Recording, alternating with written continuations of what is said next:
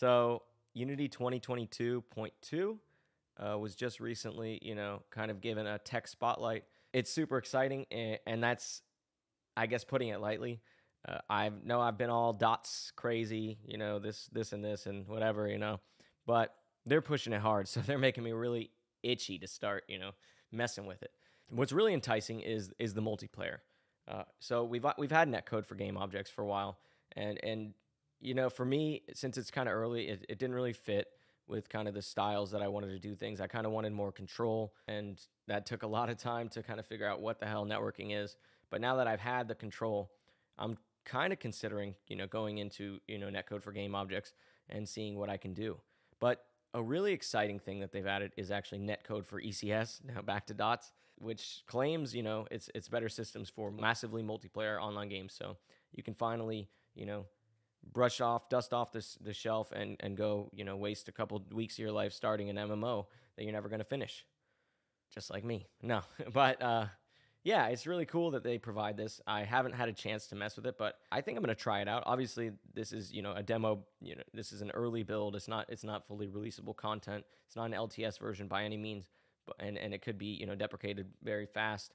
I just think the fact that Unity is going this hard and and putting so much time and development into these, you know, core concepts to keep up with Unreal, they're really going far and fast. So another thing they went crazy on is the graphics. They they've enabled LOD crossfading, so you don't just kind of get the little flashes of your LODs as you move closer to the object. It looks more natural and seamless.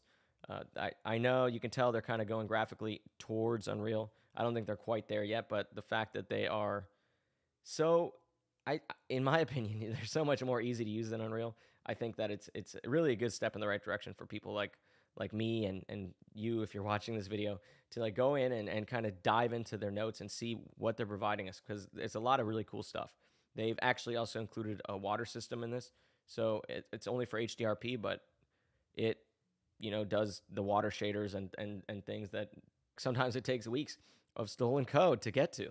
So it's really it's really interesting to see and, and really nice to see that they're kind of keeping up and providing us with these systems. They've also added volumetric clouds, which sometimes, you know, take a long time as well of watching tutorials and understanding what the hell volumetric clouds are. You got to look into shaders and understand what that is. So they've included all that for us.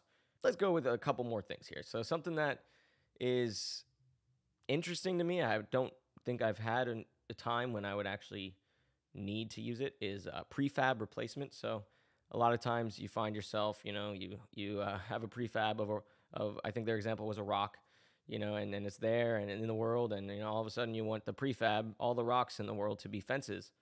Well, hot swap out the the the rock prefab and repoint it to the fence prefab, you know, and you get all the prefab, you know, components. So you get well, if you're not if you're using ECS or whatever, you get all of the the different scripts that are attached to that fence.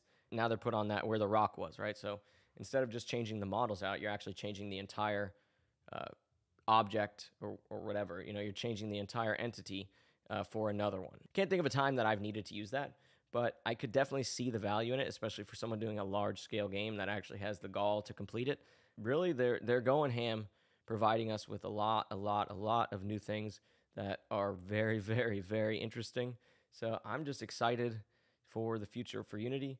Uh, I know there's a lot of people maybe hopping over to Unreal ever since Unreal 5 happened, but you know that Unreal has uh, some issues of its own. You know, crashes are much more common in Unreal than they are in Unity. So, do you have anything that you like about Unity 2022.2? Did I miss something that's super important to you? Just let me know in the comments and, and we'll figure it out. Uh, yeah. If you like this, you know, subscribe. I'll keep going.